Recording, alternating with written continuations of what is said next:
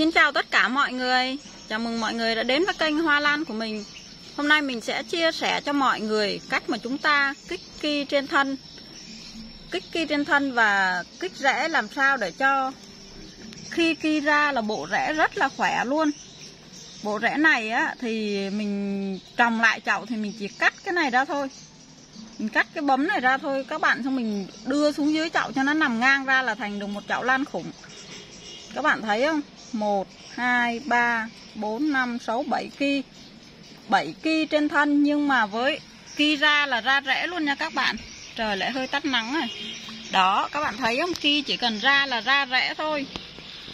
Vậy thì làm thế nào để hiệu quả? Ở dưới mầm gốc của mình tí xíu nhưng mà cũng rẽ ra cũng rất là khỏe. Đây là những con kiến rừng nha các bạn.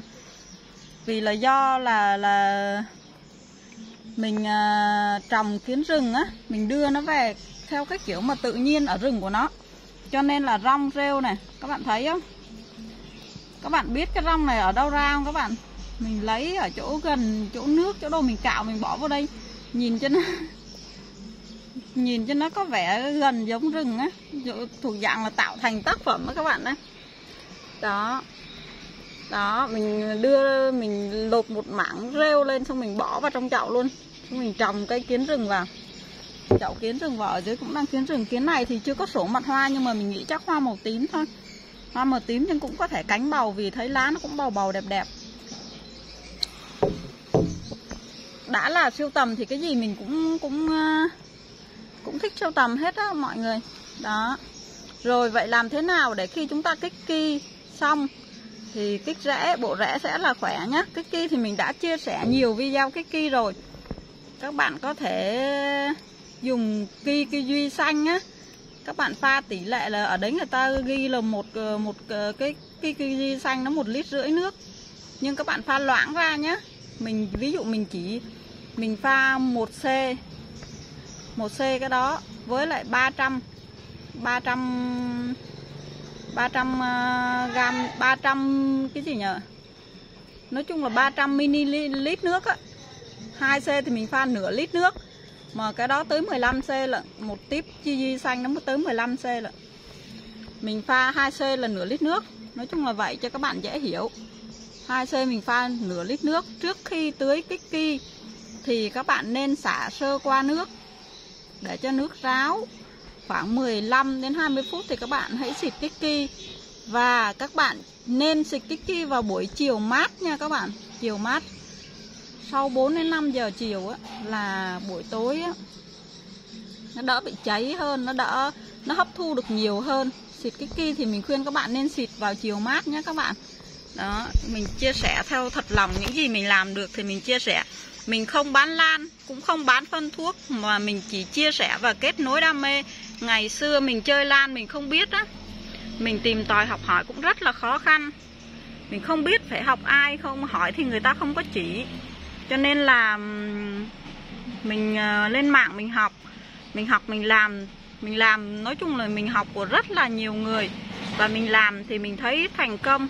Khi thành công thì mình sẽ chia sẻ cho các bạn, để các bạn, nói chung là đỡ phải vất vả giống mình đi.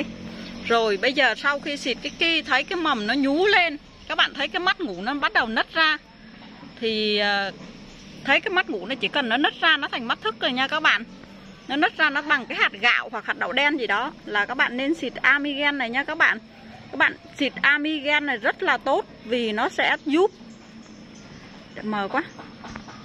Đó, nó sẽ giúp bật mầm luôn này các bạn. Ý là giúp xịt sau khi các bạn xịt amigen này á, thì nó sẽ giúp cái cái mầm của bạn đang bằng hạt gạo đó, nó nứt nhanh hơn và nó giải hết những cái độc tố ở thuốc còn tồn dư lại khi giải hết độc tố còn tồn dư lại ở trong cây á, thì cây bắt đầu là sẽ ra rễ nhanh hơn và mầm sẽ phát triển hơn và khỏe mạnh hơn.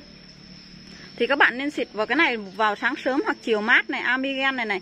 Trước khi xịt phân thì các bạn nên tưới sơ qua nước nha để cho nước ráo rồi các bạn hãy tưới phân.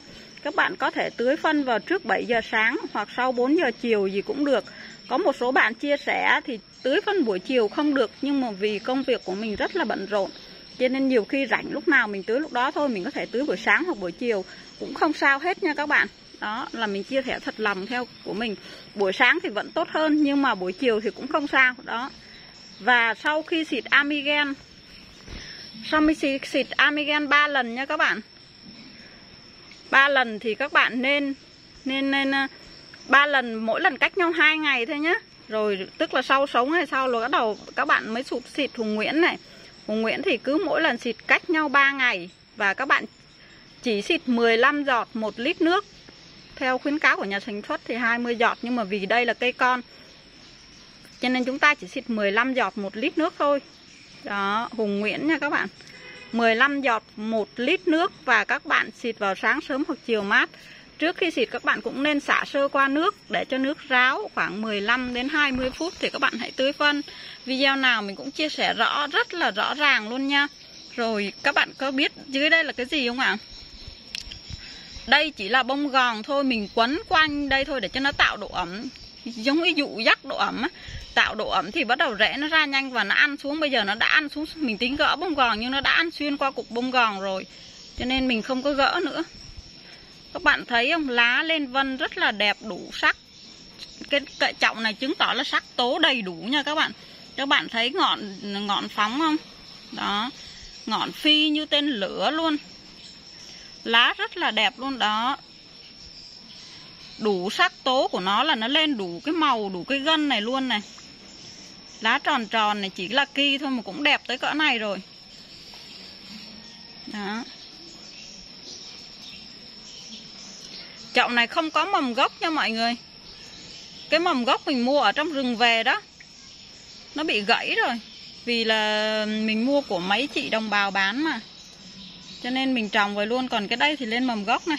Cái kiến bên cạnh tí xíu xíu này nó lên mầm gốc. Chỉ là một mắt giống y như cái hạt hạt hạt hạt đậu đen thôi đó, Mà nó lên mầm gốc đẹp vậy đó.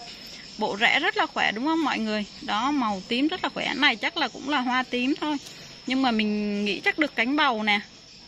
Tại vì thấy cánh nó bầu mà nó vân vân này cũng rất là đẹp. Rồi bây giờ mình mời mọi người ngắm cái chậu phú thọ của mình Mình kích ki. Rễ nó đã ra rất đẹp nha. Rồi, các bạn thấy không Cái đây là cái chậu phú thọ của mình nè. Nó mới bé tí xíu thôi nhưng mà đã bắt đầu mọc răng rồi. Đó, Các bạn thấy không? Đây, bên đây này, đó, Rễ đó, các bạn thấy không? Cái nào cũng có rễ Kia nào cũng có rễ rồi nha. Mình đang có bông phú thọ này các bạn nụ này đây, đấy. Các bạn thấy nụ phú thọ không? Rất là đẹp luôn. Nụ này chắc khoảng 10 ngày nữa sẽ nở nha. Khi nào mà nụ phú thọ này nở Mình quay video mời mọi người cùng ngắm với mình nha. Rồi nếu các bạn thấy video hay, hữu ích Thì hãy đăng ký kênh để đồng hành cùng mình nhé Để ngắm bông hoa phú thọ nhà mình nở này. Đó, bắt đầu đang còn kia trên thân nữa này. Cái này mới bắt đầu nhú thôi. Cái này mình đã cắt bớt một cái lá rồi. Cắt bớt lá để cho nó nó lòi hoa ra cho nó nở, cho nó đẹp nói chung là đam mê mà mọi người. Khi mình kích á, thì cái này nó thấp thấp.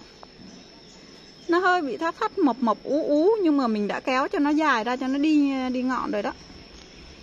Rồi mọi người thấy rẽ mà. Đâu rồi? Đó, các bạn thấy rẽ không? Rẽ rất là đẹp luôn. Cái này cỡ chỉ cần một tuần nữa là mình sẽ, nếu các bạn mà thấy video này hay hữu ích thì các bạn hãy um, comment lại phía dưới video á. Mình sẽ cập nhật lại tình hình những cái mầm phú thọ này nha. Nếu mà lúc đó mình chưa bán, sợ có người mua mình lại bán. Rồi, cảm ơn tất cả mọi người nhá ừ, đây là, dàn này là mình chỉ trồng hàng va thôi mọi người. Còn ở ừ, nói chung là mình để chỗ này. Rồi, cảm ơn tất cả mọi người đã coi video của mình. Xin chào và hẹn gặp lại. Bye bye.